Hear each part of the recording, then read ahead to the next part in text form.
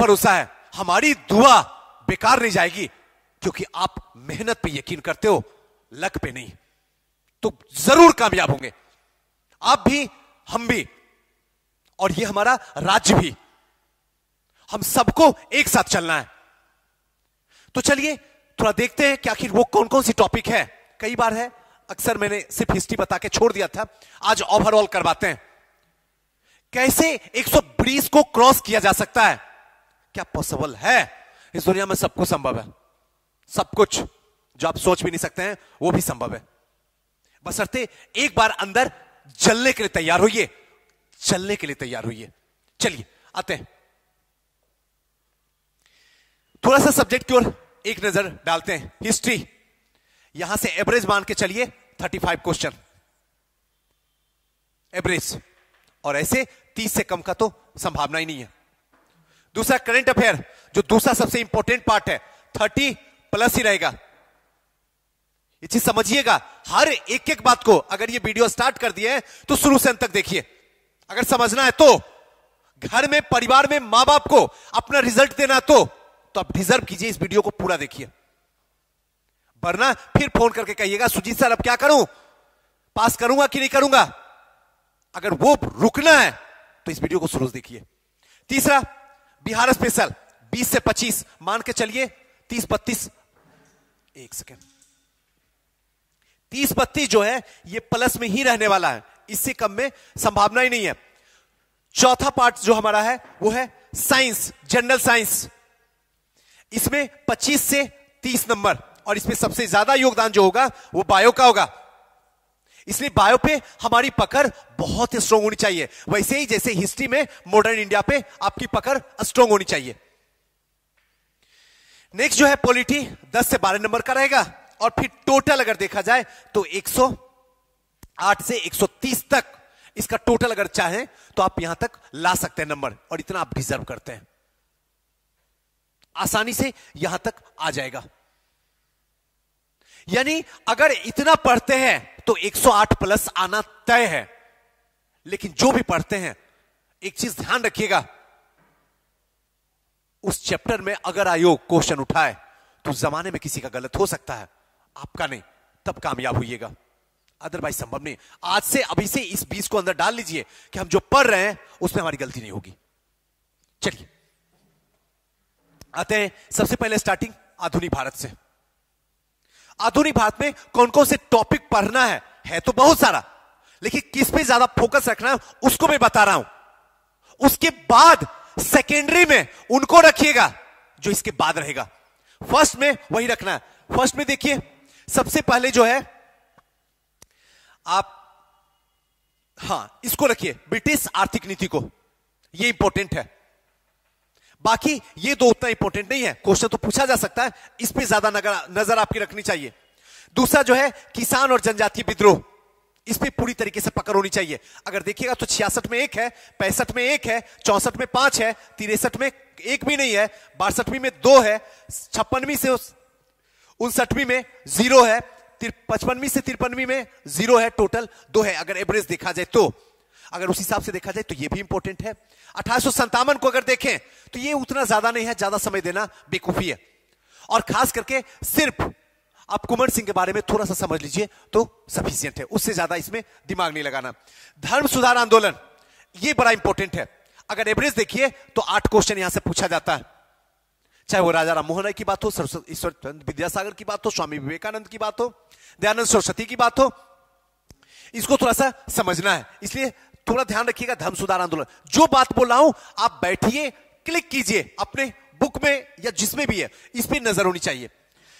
उसके बाद, यहाँ के बाद जो है, स्वतंत्रता संघर्ष के प्रथम चरण जो है, उसको थोड़ा सा देख लीजिए। अगर कहा जाए तो गांधी युग को उठा के पी जाइए। गांधी युग को। एक तो गांधी युग स्टार्टिंग 1917 चंपारण से लेके भारत छोड़ो आंदोलन तक, एकदम उठा के पी जाइए। एक, लेकिन उससे पीछे एक और है। अठारह में कांग्रेस की स्थापना हुई है। कांग्रेस की स्थापना से लेके स्वदेशी आंदोलन तक 1905 तक उठाकर रगड़ जाइए। सवाल नहीं उठता कि गलत हो जाएगा आपका। 20 से 22 क्वेश्चन रहता है, ऐसा नहीं है कि आपका गलत हो जाएगा। अगर ऐसे चलिएगा तो बाकी आपकी इच्छा गांधी युग पे कोई भी रिस्क मत खेलिए। उठा के पी जाइए, चाट जाइए। कि अगर क्वेश्चन यहाँ से आएगा गांधी युग से तो आपका गलत नहीं होना चाहिए। अगर पढ़ना तो ऐसे ही पढ़िए। बाकी आपको बता दिया उसके बाद सेकेंडरी अगर पीडीएफ चाहिए तो नीचे में टेलीग्राम का लिंक दिया हुआ, वहाँ पीडीएफ शेयर कर दूँगा, वहाँ से ले लीजिएगा। चलिए। नेक्स्ट प्राचीन में आते हैं। प्राचीन दूसरा इंपॉर्टेंट पार्ट हो जाता है। इतिहास का, जहाँ से चार से पाँच प्रश्न हमेशा बनते हैं। इसमें कौन कौन से पार्ट्स हैं जो इंपॉर्टेंट है, जिसको समझा जा सकता है? हड़प्पा को थोड़ा सा पढ़ लीजिए। लेकिन वैदिक को मत पढ़िए। उसमें समय मत दीजिए अभी। हड़प्पा पे समय दीजिए। इसके साथ साथ अगर चाहते हैं तो धार्मिक आंदोलन पे थोड़ा सा नज़र रखिए, जिसमें बौद्ध और जैन। महाजनपद उतना इंपॉर्टेंट नहीं, तीन महाजनपद जो है बिहार वाला, थोड़ा सा एक नज़र मार लीजिए। काम खत्म। बौद्ध जैन पे ध्यान रखिए। उसके बाद मौर्य कला पे थोड़ा सा ध्यान रखना। मौर्य कला के बाद गुप्त कला पे, बाकी पे एक नज़र भी नहीं रखना। बस सफिशियंट है। चार पाँच चैप्टर जो है, एक नज़र से देख लीजिए। उसके बाद एक्स्ट्रा कुछ नहीं करना। उसके बाद अगर समय मिल रहा तो फिर आगे का काम करना है। बाकी छोड़ भी देंगे, तब भी आपका सिलेक्शन हो जाएगा। इसके सिवा कुछ भी एक्स्ट्रा नहीं पढ़ना आपको है। अगर इस सत्तर दिन स्टेज फ्री रहना है तो और अपने घर में रिज़ल्ट देना है तो चलिए मध्यकालीन भारत। इतिहास के तीसरे खंड में चलते हैं। मध्यकालीन भारत में क्या पढ़ना इसमें सबसे इंपॉर्टेंट तो है दिल्ली सल्तनत। दिल्ली सल्तनत पे थोड़ा सा बारीकी से परख रखिएगा। इसको इसके साथ साथ में मुगल काल। मुगल काल में दो तीन जो है इंपॉर्टेंट है, उसको रखनी है। ऐसे दिल्ली सल्तनत भी देखिए तो दिल्ली सल्तनत बहुत बड़ा है। कुतुबुद्दीन एबक से लेके लास्ट तक जाते जाते बहुत बड़ा हो जाता है। उसमें इंपॉर्टेंट क्या है? एक तो इल्तुतमिश को ध्यान रखिएगा। कुतुबुद्दीन ऐबक का स्टार्टिंग है तो उसको थोड़ा सा ध्यान रखिएगा। रजिया सुल्तान है, उसको ध्यान रखिएगा। एमबीटी है, उसको ध्यान रखिएगा। मोहम्मद बिन तुगलक है, उसको ध्यान रखिएगा। कुछ इनकी आर्थिक नीतियाँ जो है, इसमें नज़र रखिएगा। हल्का सा बस एक नज़र मार लीजिए। उससे ज़्यादा मत कीजिएगा, क्योंकि यहाँ से दो से तीन नंबर का क्वेश्चन रहता है। ज़्यादा दिमाग लगाने की ज़रूरत नहीं है। और हाँ, एक तो भूल ही गया, जहाँ हमेशा पूछता है क्वेश्चन पूछता है, बलवन। लोह रक्त की नीति, हमेशा क्वेश्चन पूछता है। बलवन को तो भला भूल ही नहीं सकते आप। मुगल काल, वैसे ही मुगल काल में क्या क्या पढ़ना है? तो मुगल काल में स्टार्टिंग जो हो रहा है, बाबर से थोड़ा सा बाबर वाला हल्का सा एक झलक देख लीजिए, अकबर देख लीजिए, और हाँ औरंगज़ेब देख लीजिए। इसके बीच में नहीं, कोई खास नहीं है, बस इतना सफिशियंट है। ये पहले राउंड में देखिए, और अगर समय मिले, तब फिर आगे का राउंड में देख लीजिएगा। ये आपका कंप्लीट हो गया, ज़्यादा कुछ भी नहीं करना है। कोई विजयनगर बहमनी साम्राज्य देखने की ज़रूरत नहीं है, समय नहीं है आपके पास में इतना। क्योंकि अभी आपके पास में लिमिटेड टाइम है, और लिमिटेड टाइम में कट ऑफ़ को क्रॉस करवाना है तो आपको लिमिटेड ही पढ़ना पड़ेगा, तभी अनलिमिटेड नंबर आएगा। आइए, मध्यकालीन के बाद दूसरा हमारा खंड आता है समसमाय की करंट अफेयर और करंट अफेयर दोनों, भारत का भी और बिहार का भी। यह सबसे बड़ी समस्या बच्चों को क्रिएट करता है। कि करंट अफेयर का कोई दायरा नहीं है सुजीत सर। साल भर पढ़ू, छह महीने वाला पढ़ू, दो साल वाला पढ़ू। और अगर पढ़ भी लेता हूँ तो दिमाग इतना कंसंट्रेट नहीं है कि दो साल का डाटा, साल भर का डाटा, छह महीने का डाटा ऑब्ज़र्व कर सके। ऐसे कंडीशन में क्या किया जाए? ऐसे कंडीशन में सीधा सा मतलब है, जितना भी है पूरे साल भर में जो हमेशा चर्चा करा, कोई भी मैगजीन कोई भी, ज़रूरी नहीं है कि जो पॉपुलर है उसी को खरीदा जाए। यह बेकूफी कभी मत करना। कभी मत करना। हमेशा उस मैगजीन को उठाने की कोशिश करो, डिसाइड करो, जो आपके एग्ज़ाम ओरिएंटेड मैगजीन बना हुआ है, जो बेहतरीन। मार्केट में बहुत सारी बुक है, नो डाउट है। लेकिन हमारी भी 20 तारीख को मैगजीन अपडेट हो रही है मार्केट में, आ रही है। 20 तारीख के बाद मार्केट में आ जाएगी समसमायिकी का। आप वहाँ से परचेज कर लीजिएगा। चाहे जितना भी मैगजीन है, सबका गुरु लेके आ रहा हूँ। सबका। आप जितना भी देखें, सब देख लीजिए। तीन चार तो बच्चे रखते ही मैगजीन उन सब का कंपाइल करके एक में रखा हो। इतनी बेहतरीन कि एकदम और एग्ज़ाम ओरिएंटेड अगर इसमें तो इसमें, नहीं तो फिर उसमें कहीं से भी नहीं। पूरे अच्छे तरीके से कंपाइल कर रहा हूँ। मोस्ट प्रॉब्ली बीस तारीख तक आपके हर एक शहर में पहुँच जाएगा। आइए, देखते हैं। इसमें पढ़ना कौन कौन सा पार्ट है? अगर कोई भी मैगजीन अब तक आप खरीद लिए हैं तो 20 तारीख समय है। वेट तो कर नहीं सकते, लेकिन जो भी है मैगजीन आपको, उसमें देखना क्या? सबसे पहले खेलकूद। खेलकूद में एक चीज़ ध्यान हमेशा रखना है कि आप क्रिकेट वाला पोर्शन पे ज़्यादा समय मत दीजिएगा। ध्यान रखिएगा। ये चीज़ ध्यान रखिएगा। बाकी जो भी है लॉन्ग टेनिस है टेबल टेनिस है हॉकी है बैडमिंटन है, इस सबने हमारे देश का नाम रोशन किया है, इन सब के खिलाड़ी। तो थोड़ा सा इसको ध्यान रखना है। एकदम लिमिटेड पढ़िए, सोच के पढ़िए, ताकि आराम से क्रैक कर दिया जाए। क्रिकेट मत देखिए। क्रिकेट बच्चा बच्चा जानता है, आयोग को पता है। बिहार में और हिंदुस्तान में।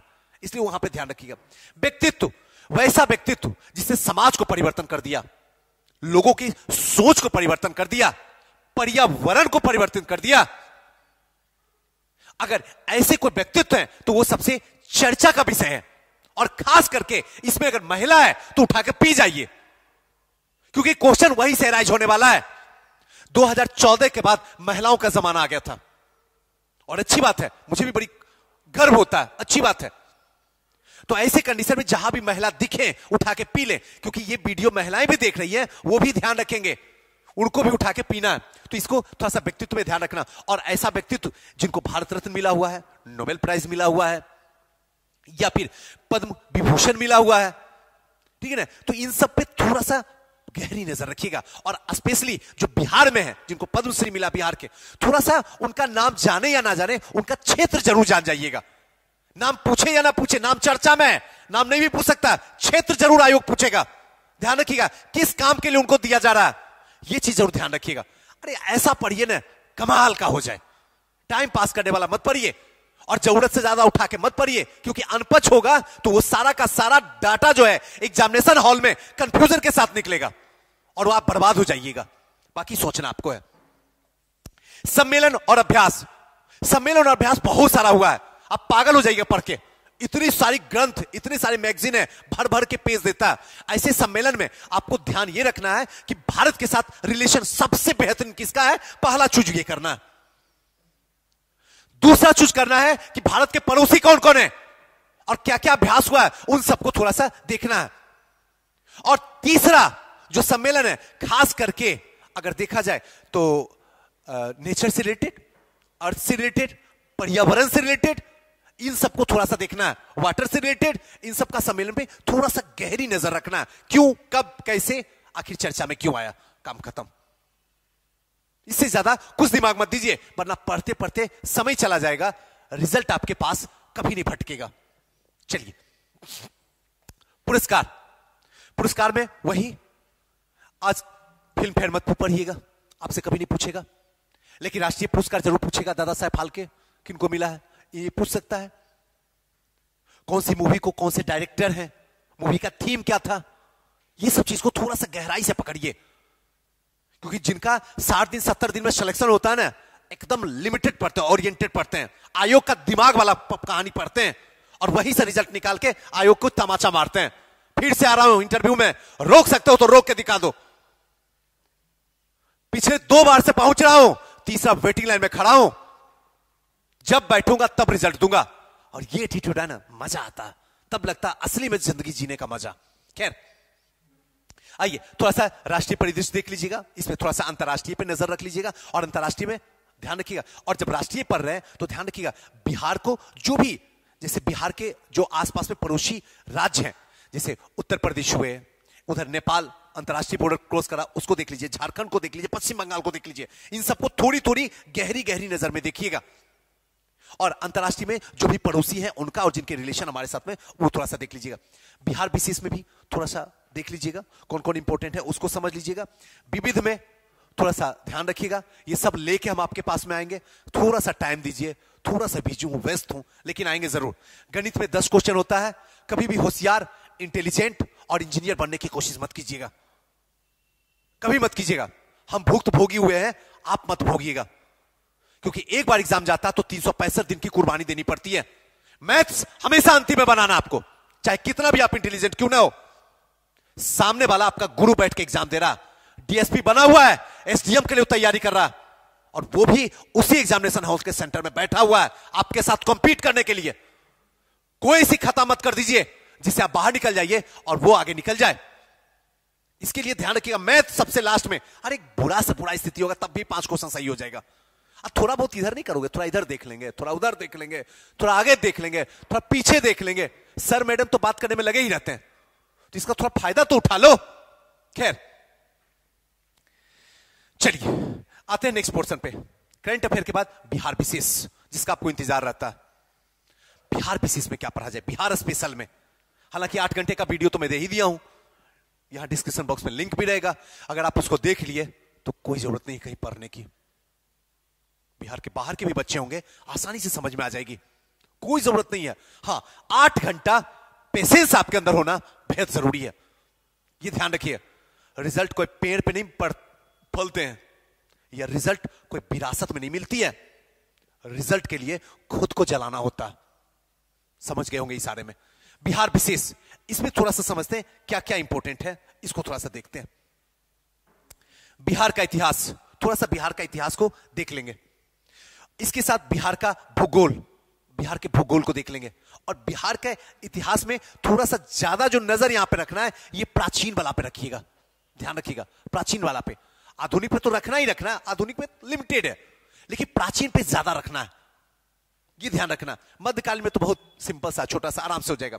बिहार का भूगोल जो है, थोड़ा सा देख लीजिएगा। उसके बाद जनगणना। जनगणना जा रहा है। नई जनगणना आ रहा है 2021 में। तो जा रहा है तो जनगणना इस बार जाते जाते कहीं रुला ना जाए। याद रखिएगा, मेरा कहने का मतलब रुला ना जाए। यानी कि जनगणना पे पकड़ होनी चाहिए। छोटी छोटी बात को पकड़ लीजिएगा। कम से कम जनगणना तीन से चार क्वेश्चन रहेगा। और आपकी हालत खराब करके रख देगा।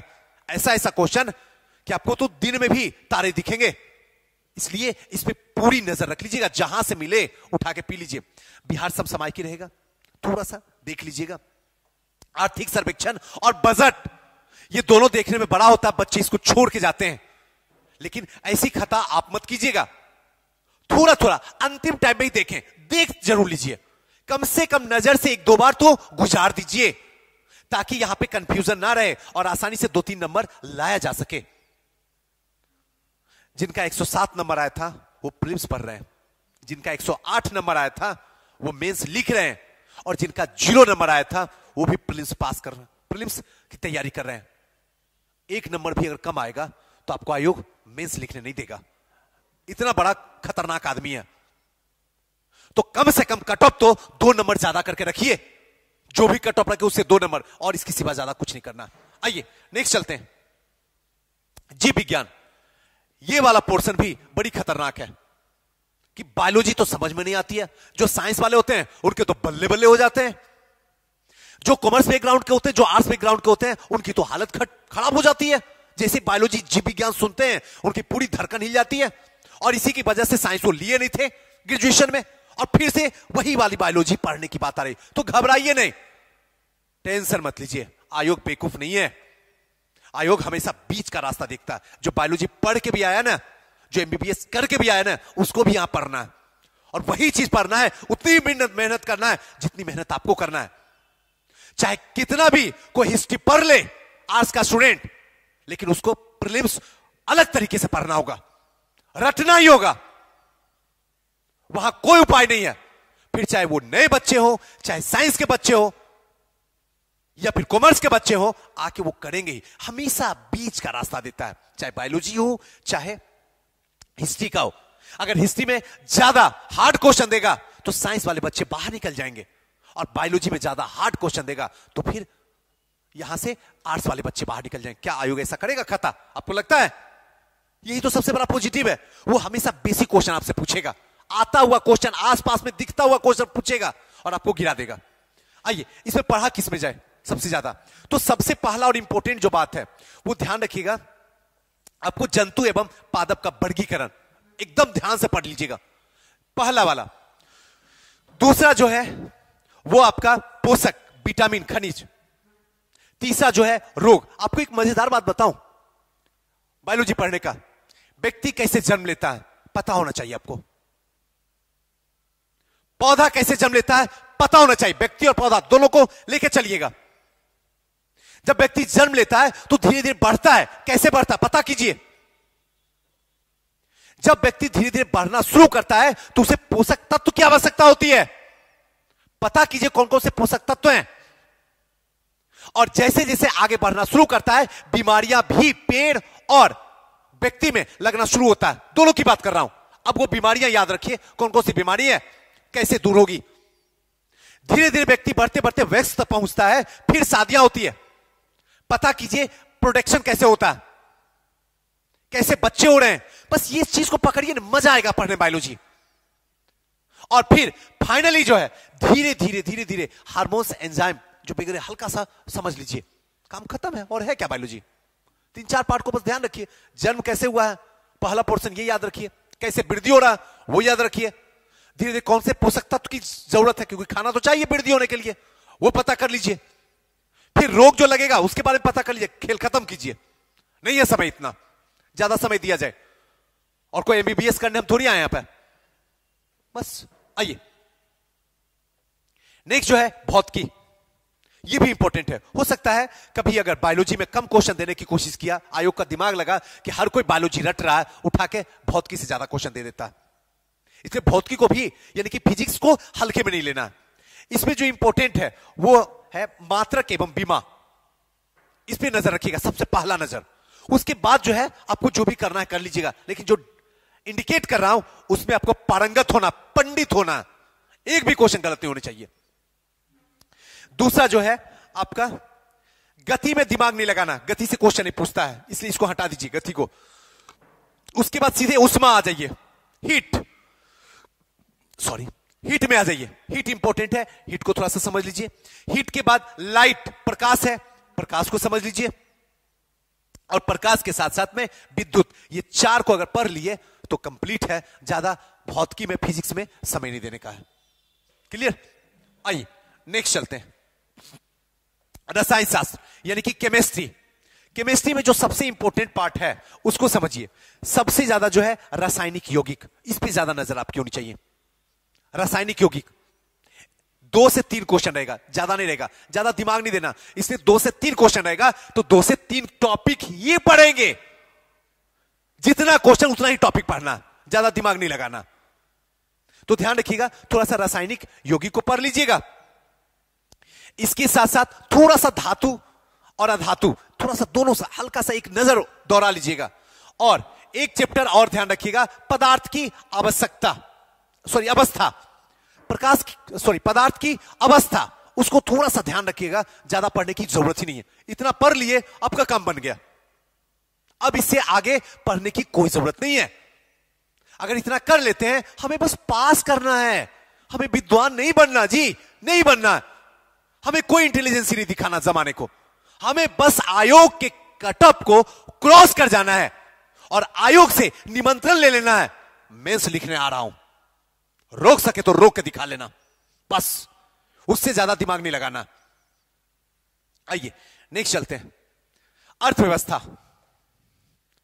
अर्थव्यवस्था मोस्टली जो है करंट अफेयर से ही जुड़ा हुआ ज़्यादा रहता है। तो थोड़ा सा अगर करंट अच्छे से है तो आराम से बन जाएगा। इसमें जो है, आर्थिक कार्यक्रम जो भी हुए हैं, उनको थोड़ा सा देख लीजिएगा। अर्थव्यवस्था में दोनों, हिंदुस्तान में भी और बिहार में भी। ये दोनों इंपॉर्टेंट है। ध्यान रखिएगा। इसके साथ साथ में थोड़ा सा राष्ट्रीय आय पे हल्का सा नज़र डाल दीजिएगा। ध्यान रखिएगा, हालाँकि राष्ट्रीय आय, आप आगे भी पढ़ेंगे, हिस्ट्री में भी आपको पढ़ना होता है क्योंकि पहली बार जो है धन का निष्कासन दादा भाई नरोजी ने दिया था, जो बताया था बीस रुपया तो वहाँ से भी इसको जोड़ के समझ सकते हैं। तीसरा जो है, बैंकिंग मुद्रा, इसको थोड़ा सा समझ लीजिएगा, नीति आयोग को तो गलती से नहीं भूलिएगा इसको देख लीजिएगा थोड़ा सा बजट को देख लीजिएगा और थोड़ा सा कृषि इस बार चर्चा में है, वो समझ लीजिएगा और योजना। इसके सिवा एक्स्ट्रा कुछ नहीं पढ़ना है। अगर बैठ जाइए पढ़ने के लिए तो दो दिन सफिशियंट है। दो दिन में उठाकर चाट जाइएगा। उससे ज़्यादा समय भी नहीं लगेगा आपको इकोनॉमी में। दो दिन, मात्र दो दिन। दो दिन में इसको उठाकर चाट जाइएगा। और ऐसे करना होगा। अगर अपने आप को फ्रेश रखना है, डर से दूर रखना है आपके पास में कभी भी कोई निगेटिव ना आ जाए, उससे बचना है तो ऐसे ही पढ़ना। क्योंकि अब वो टाइमिंग आ गया, डर वाली टाइमिंग नहीं होगा तो क्या होगा सुजीत सर? अरे कमाल होगा। टेंशन क्यों ले रहे हो? पहले करो तो। जो तुम कर रहे हो, उसमें ईमानदारी झलकाओ ना। नहीं होगा तो क्या होगा, वो तो देख लेंगे ऊपर वाले। लेकिन जो कर सकते हो, उसमें ईमानदारी से रखो। वो मौका ही नहीं आएगा। दिमाग में आएगा नहीं नहीं होगा तो क्या होगा? क्योंकि होगा ही होगा। होगा क्यों नहीं? नेक्स्ट है राज व्यवस्था पोलिटी पॉलिटी में जो इंपॉर्टेंट पार्ट है, वो मैं आपको बता देता हूँ। सबसे पहले संविधान और संघ नागरिकता। इस पर थोड़ा सा नज़र, पहली नज़र खतरनाक वाली होनी चाहिए। इस पर नज़र रहनी चाहिए। इसके साथ साथ एक दूसरा पोर्शन जो है, संसद और कार्यपालिका। ये दो पार्ट जो है, हालाँकि ये भी पूरी तरीके से करंट से जुड़ा हुआ है। पूरा करंट ही है, लेकिन ये दो चैप्टर इसको आपको ध्यान रखना है। और तीसरा, एक चैप्टर और और वो है स्थानीय शासन। अगर इस तीन को आपने पढ़ लिया, ज़्यादा मत देखिए।